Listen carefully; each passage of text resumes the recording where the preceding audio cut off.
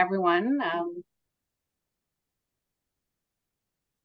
thanks for taking the time to to attend this pre-construction meeting. Um, my name is Alice Fyfe, and I'm the planning and development assistant for Kitchissippi, and I help Jeff with um, all the planning files in the ward. And I'm joined here tonight by my colleague Steph, um, who I know some of you already know Steph well um, and know that she is now helping Jeff with the citywide planning files that come with Jeff's role as chair of planning committee this term.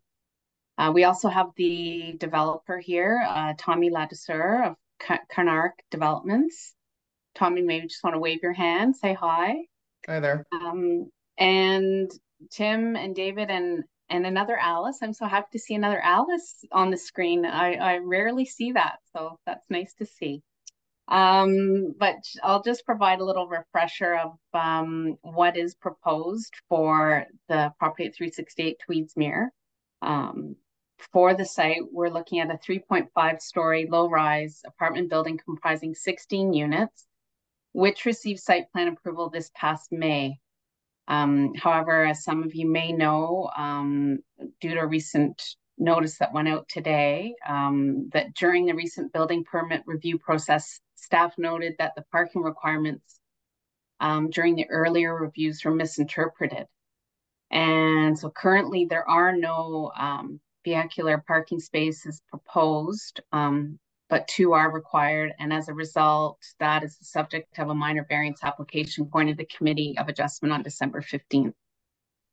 In terms of bicycle parking, uh, there's a total of 16 bicycle parking spaces proposed. In terms of tonight and the format of the meeting, uh, Tommy is going to offer a short presentation on the proposal and we'll cover things like anticipated start date, timeline information for each section, such as excavation and pouring, truck traffic route, construction staging, and any anticipated impacts to sidewalks and roadways. Uh, and he will also, I hope, provide some information on ongoing communication going forward. Um, Tommy will also indicate uh, who residents can call on site if there's an issue and whether construction updates to the neighbors will be provided, and if so, how residents can sign up. Um, with that said, however, I would like to note that um, as far as I understand, the traffic management plan and encroachment permits have not been approved uh, by staff yet. So it is possible that plans outlined here tonight uh, could change somewhat upon staff re review. And if that is the case, um, I would ask Tommy and his team to make our office aware of any changes so that we can share them with you, the residents. So before we get started with the presentation, I'll just start us off with a couple of minor housekeeping uh, matters. Um, number one, after Tommy's presentation, we'll just jump into an open forum Q&A afterwards, uh, where the residents can ask further questions. And number two, as you may have noted, uh, this presentation is being recorded and it will be posted on the Kitchissippi Ward YouTube channel uh, by the end of the week.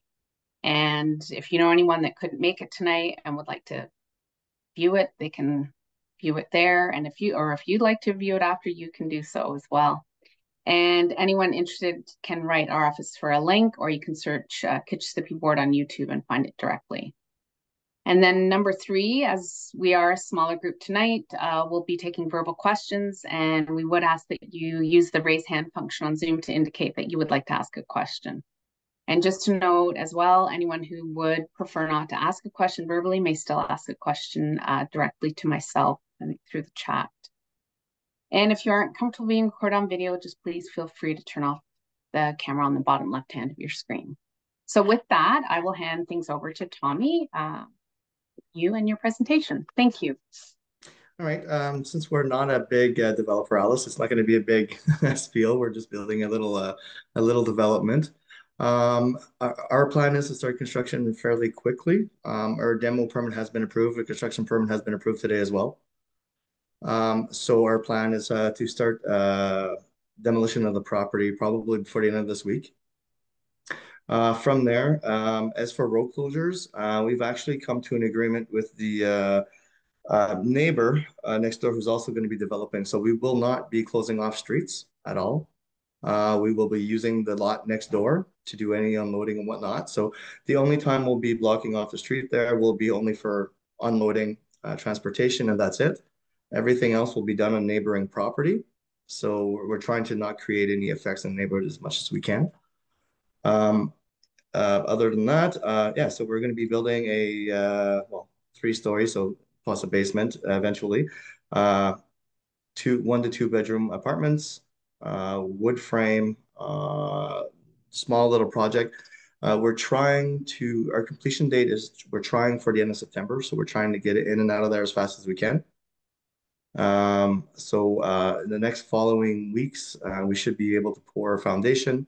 Uh, from there, the uh, week after that, we should be, it's a wood frame building. So we'll be framing that wood. It'll be coming in in the system. So it should be going up quite quickly. Uh, once it's enclosed, it's just interior construction. Um, we're planning on drywalling probably end of April, May, uh, and then everything else just to be installed from there. So we're, we're trying to come in and do it as quickly and seamless as possible. That's about it for me. Um, okay, I actually just have a couple of questions to get us started. Sure. Um, so which property, which neighboring property are you uh, planning to to use for your staging? It would be for the uh, White Street Capital Development right next door on the left. I so believe it's the three, south? Yeah, it's the whole corner from Wellington down that they're developing. Okay. We're just going to be using that instead of, you know, trying to do road closures and whatnot because we noticed that Tweedsmuir is very, well, it's busy enough road and it's a small road, so we're trying not to block it. Excuse me. Uh, sorry, this is Patsy. Sorry, I have a problem with my camera. But you're saying you're going to use where they're building the building, but next door is a White House that hasn't been knocked down yet. So are they knocking that house down so you can use it or are you? We're, we're not gonna, we're not gonna need to, to block, to knock that down for us to use it. It's just for us to have enough room to move from our property to the other property without blocking off the road. So you're not going to where they're building the building, you're just going next door where that. Yeah, we're just gonna be using the excess land attached to ours so we can move around properly. Okay, and you said you were building a small, small project, but this has sixteen units in a fifty by hundred foot lot, right? Yes, it does. So four units on every floor? Yes. And is there any space around the building at all? Are you just doing the three feet, three feet, three feet, and then filling the whole lot? Yeah, it's pretty much full. No parking? Well, that's what we're at the adjustments for right now. Okay, so how do you, how do you uh, sus suspect that that'll affect the tenants or the people who own the houses down the street who Well, our, our lawyers are working on that for right now. I don't have anything. I don't have any more answers on that one. you don't. It, it's not go. It's not going in front of committee until the fifteenth, so I don't have an answer on that one yet.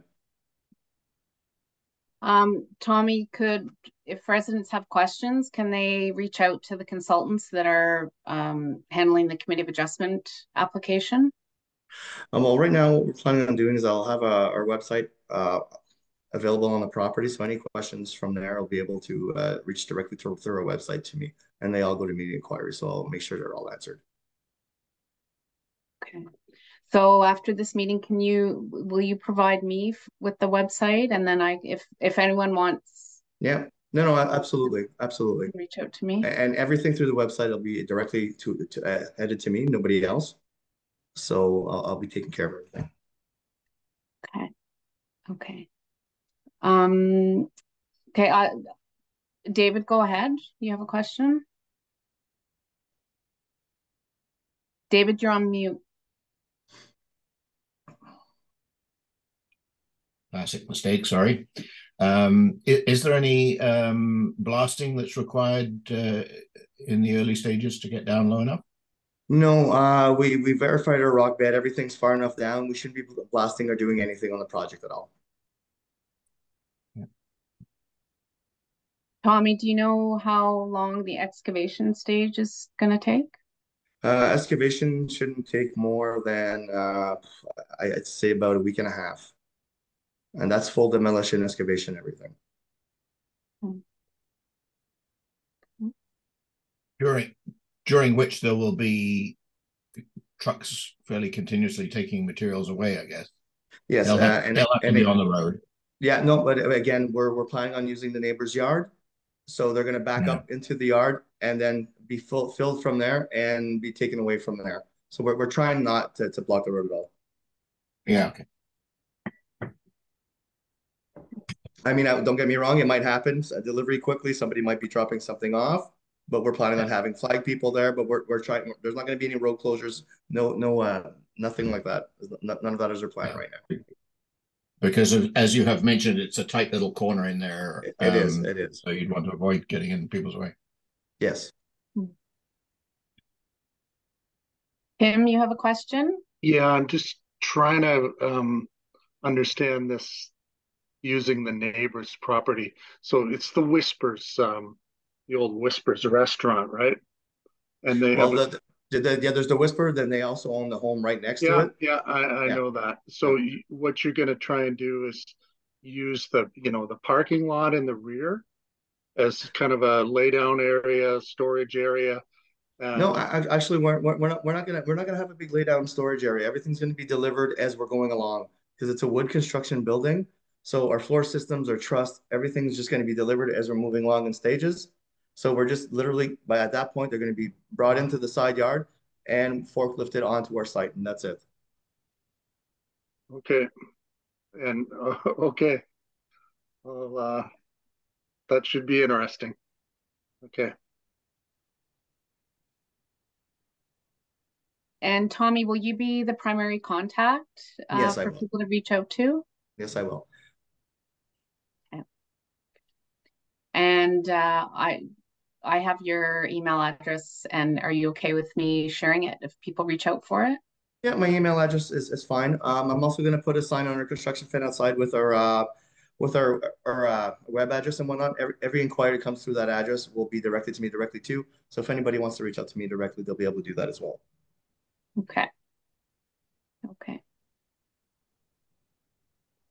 Well, Could I get another one in there, Alice? Sure. So, so it's, it's always the, and David kind of brought this up.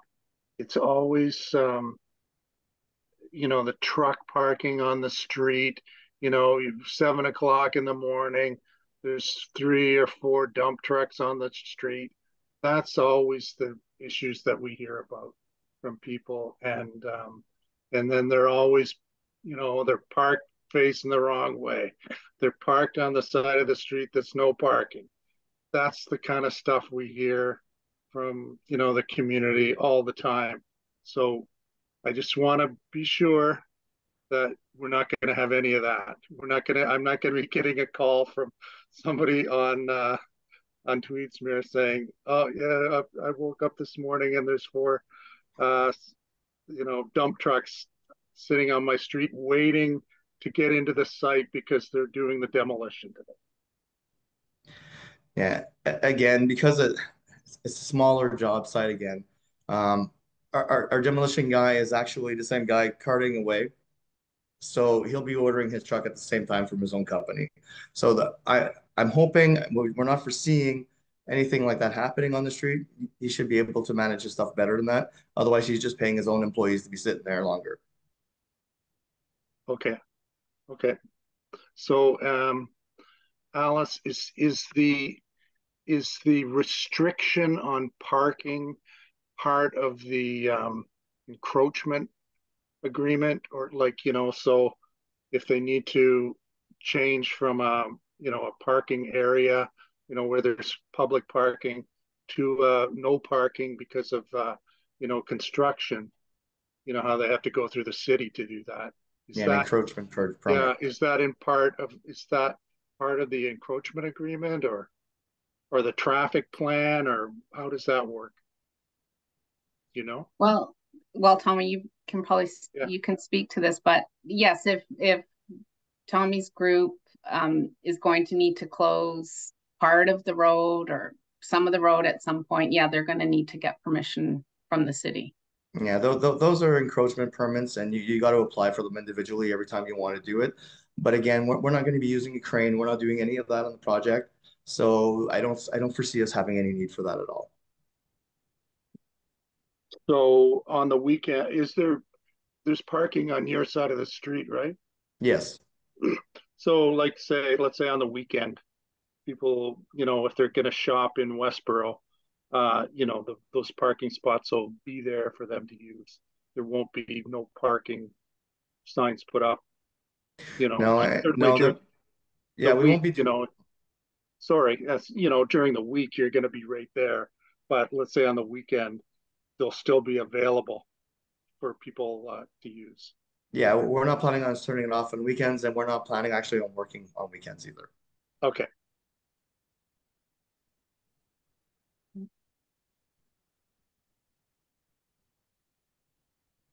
Uh, yes, David, go ahead.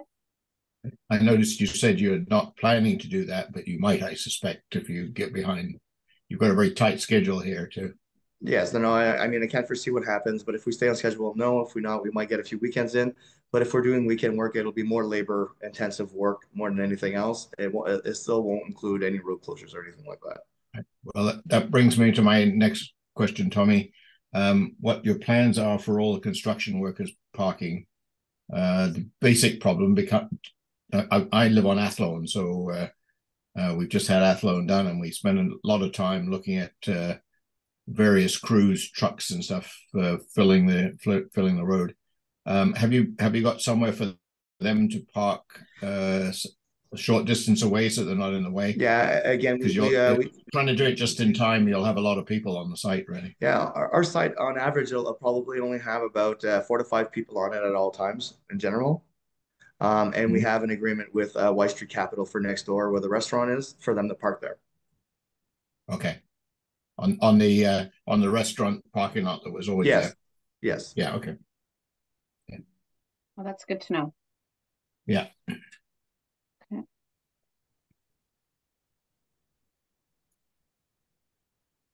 Anyone else?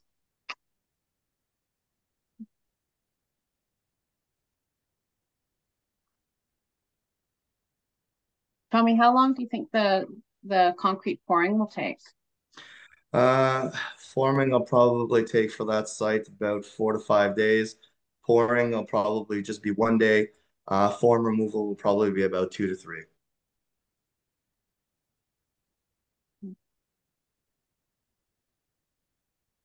So you're yeah. sort of aiming to try and do that before Christmas, right? We are really trying to, yes. Okay. It'll be pretty tight.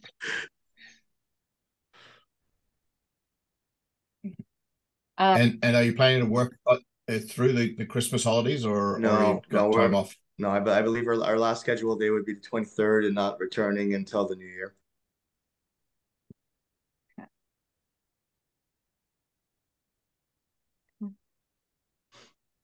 Twenty third, I think, is Saturday. You mean the twenty second? But 22nd, it would. I'd have to open up my calendar too. Yeah, twenty second. I think you mean. All right, so 22nd, yeah, and yeah, so I'm I'm just Uh, looking out for your workers here. yeah, you know, 22nd, and uh, yeah, I believe we wouldn't be back until uh, the third or the fourth, even.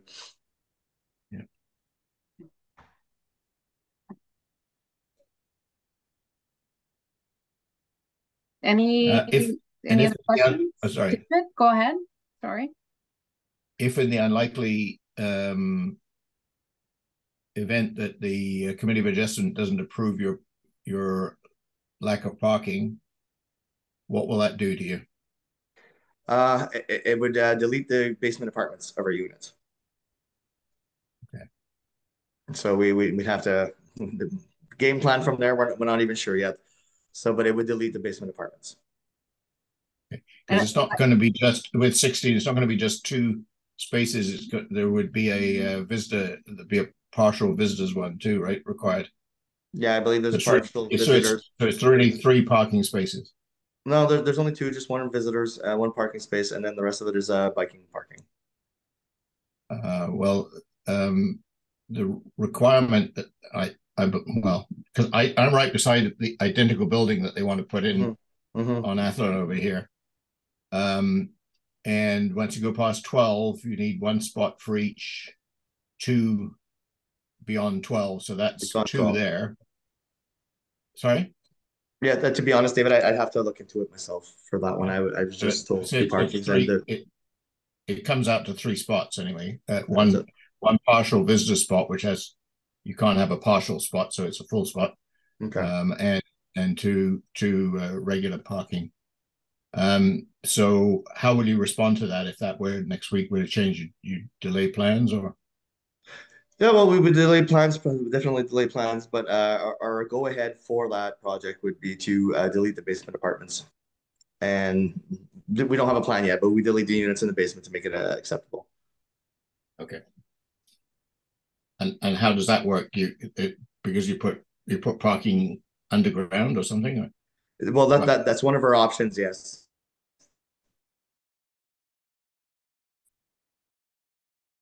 So we, would have until the fifteenth. Yeah. In terms of the, you were saying the parking.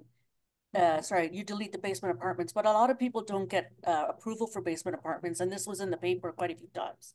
People yeah. do, uh, two or three stories, and the basement is not filled, and then they go for a variance after the fact, and they've already actually built the basement apartments if they don't get the approval at the at the beginning.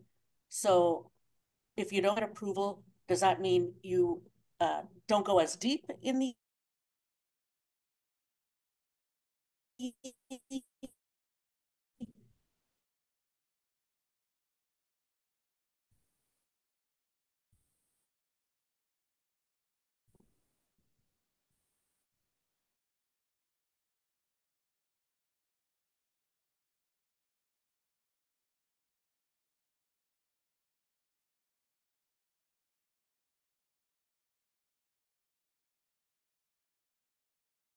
the construction permit be issued be, uh, before the committee of adjustments been heard.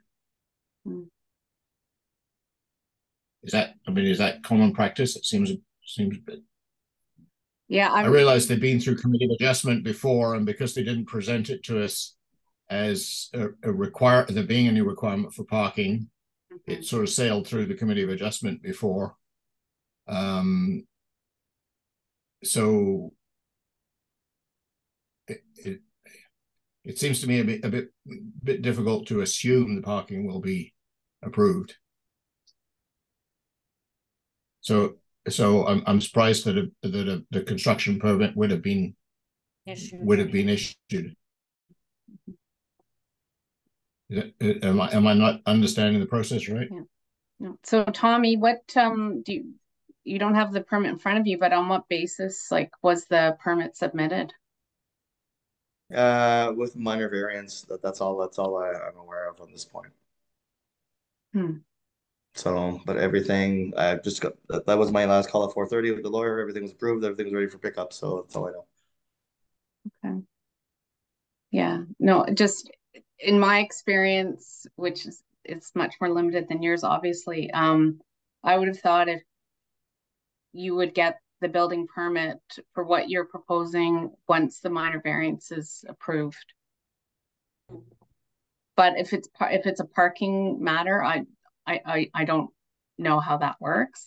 Um, I realize you're not asking for variance with respect to setbacks or unit count or anything like that. That's been dealt with, but um, it, it, I think it would be helpful if if you could get back to if you can get back to me and just yep. give us more information about the permit that's being issued and and then I'm happy to to share that info. Yeah, all right. As soon as I have all that else, I'll, I'll make sure you get it so you can share it with everybody. Okay. For clarity, uh, Tommy, the um, my recollection when it went through before was there is a there are other minor variances, particularly for the rear setback. So um, I'm, I'm just try, trying to warn against assuming that the the, uh, the construction permit is permitted on the basis of that variance because now they found that they they misrepresented the uh, the parking situation.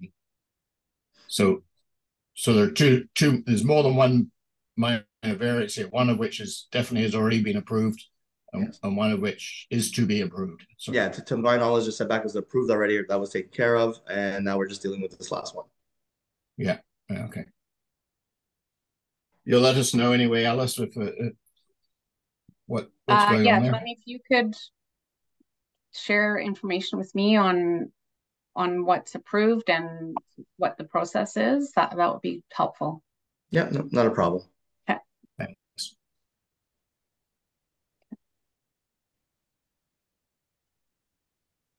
Have any other questions? No? Okay, last Uh, no, call. I, I, Oh, oh, I'm sorry. just have 10 min, 10 seconds of silence, just in case someone wants to jump in. One last thought or question?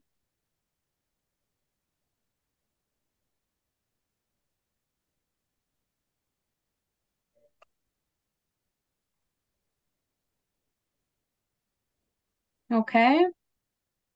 Okay, so I, if there are no other questions, I think we'll wrap it up. And um, if anyone has further questions afterwards, please feel free to reach out to me. Um, my email address is alice dot fyfe F is in Frank, Y is in yellow, F is in Frank, E is in Edward at ottawa.ca.